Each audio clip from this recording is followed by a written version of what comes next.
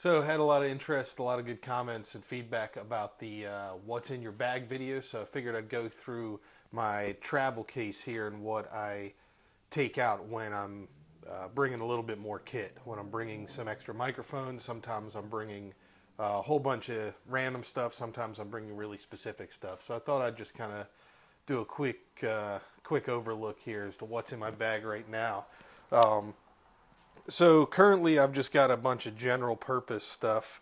Uh, this is a model uh, 1560 Pelican case that I use. I've had it for a little while now. It's getting a little beat up. That's mud from uh, actually doing sound at one of the Preakness stages this past year. Still hasn't come off. The wheels are starting to get a little worn down, but this guy's been all over the country, uh, literally trains, planes, uh, all manner of taxis, uh, cars, vans, um, buses. Uh, it's it's been everywhere. Uh, it's flown. It has uh, been on the Amtrak a lot. So you know, wheels uh, have held up pretty well for a few years, um, and those are easily replaceable. So right now it's just general. Um, let's see. Right now I've just got kind of general uh, stuff in here. top. Go over real quick. Poncho old style USB cable, bunch of tie line, quarter inch uh, cables, two quarter inch cables for DI boxes, guitar purposes, things like that. Uh, there's a USB stick stuck down in there, um, just a regular old USB stick. Uh, in this pocket here, we've got earplugs, little miniature screwdriver. These things are really, these things are really, really cool. There's a whole bunch of tips stuck in there. You can stick them in the front here really easily uh, for taking apart small things, small electronics. Uh, tons of alcohol swabs, matches, lighter, uh, again, earplugs in there.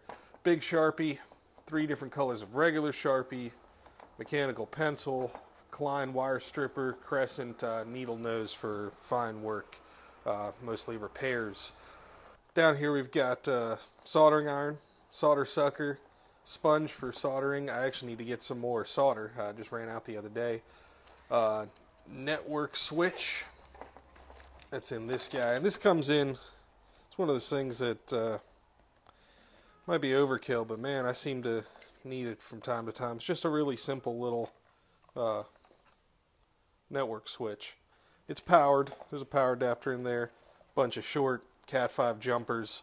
Uh, comes in handy more often than I would uh, would have thought it would. Bought it for a specific uh, purpose and end up using it a lot. So that's all networking stuff. Solder need to get a little bit more. Another uh, little tin of solder, little roll actually, is what I normally have in there. Um, solder sucker jumped free. Put him back in there. Uh, right now I've just got gloves. Um, this is the same bag of stuff that was in my what's in my bag. This is the kind of stuff that goes back and forth between the bag and the case. Uh, some spike tape, another poncho, some more adapters and stuff, and laser measurer. So that just kind of lives in there. Some extra headphones, pair of 7506s in there right now. Uh, analog, old school analog Ratchet uh, meter. Need to put a 9 volt in there. That just died the other day, but uh, been doing just fine for years. Headphone extension cable. Uh, these come in handy uh, quite a bit too. One of those things that it's just a good cable to have on hand. This is a piece of foam that I use as a divider. Uh, and what this allows me to do is if I've got this whole deck filled up, this lower deck filled, I can put this divider in and carry a couple of rack spaces worth of gear in here. I fit a three, uh, sorry, a two rack space tall uh, Mark the Unicorn 896. I've got one right down here. I fit that in there quite a few times. I have two of those, uh, a Mark III and an HD that I travel with occasionally for recording purposes. And that lets me fit one of those right on this deck and keep the buttons and knobs from getting bashed. This is the other chock for doing that. I've had other pieces of rack gear in here uh, from time to time. Pair of shock mounts, pair of Shure SM27s, uh, really good stage mics. I like those a lot for guitars. Uh, for drum kit, a pair of those, and right now this slot down here is empty. My uh, Sennheiser E902 is, is out right now, but that's normally in there. Makes a nice three-piece, uh, three-mic drum miking package. Uh, this is the same bag of adapters I went over before. There's, uh, let's see here, all sorts of little adapters, Neutrik uh, barrels and things like that, and MP3 player adapters. Set that aside for now. Over here, I keep a real junky uh, PG48 uh, switched mic. This is my talkback, uh, House of God, Voice of God uh, mic, general purpose. And then this down here is uh, right now I've got this uh, ND267, another just general purpose kind of talkback mic that I've had kind of laying around for a while use it for various crap. Um, desktop mic stands, these come in really handy. Bunch of different types of clips for those. Some windscreens. And all this stuff, uh, little roll of gaff, all this stuff will change depending on, sometimes I'll just pull most of this out, put different stuff in. Uh, right now I've got three claws in there. I've got the claw clamps, um, a pair of turnarounds right now. Somebody's actually borrowing my big uh, 200 foot drive snake that has all the rest of these turnarounds. Um, these are female to female. I have male to male sets as well, and they're all in pairs of two.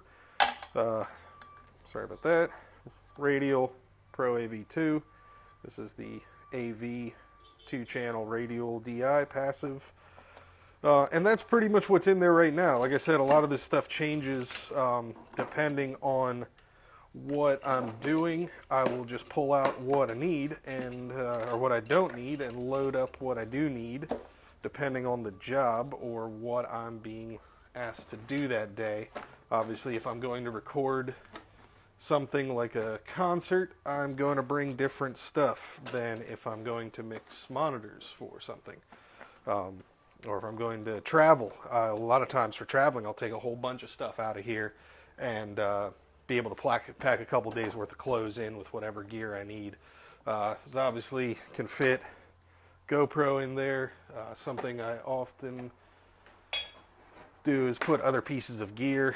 This is a new piece of gear, but that obviously four channel sound devices mixer would fit in amongst this quite nicely. I put rack gear. The reason I chose this model specifically, the 1560, is because I can fit rack gear, uh, one space or two space rack gear in there uh, with a bunch of other stuff and not have it take up a whole bunch of room.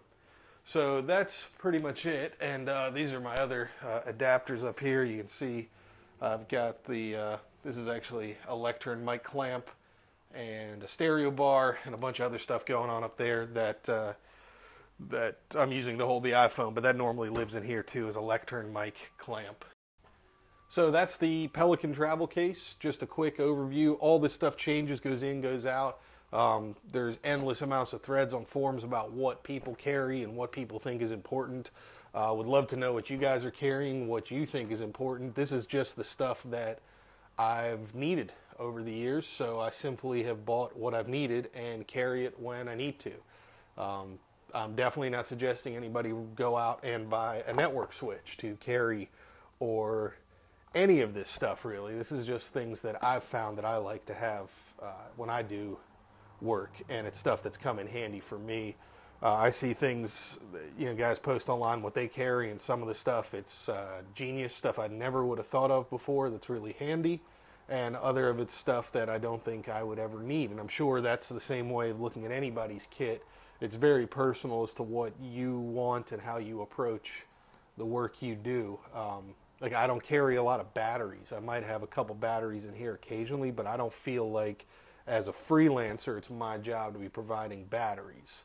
Um, I usually have a few double A's, a few triple A's, maybe a 9 volt on hand just so I have uh, things, some extras, but I, am not providing. I know guys that carry 100 packs of double A's um, and all sorts of gaff tape and stuff. Man, that's uh, if you're a freelancer or if you're working for a company, um, not, not your job to finance the battery purchasing. So, uh, carry some spares, but don't don't feel bad if you don't uh, if you don't personally provide batteries and, and, expendables. That's definitely not your job.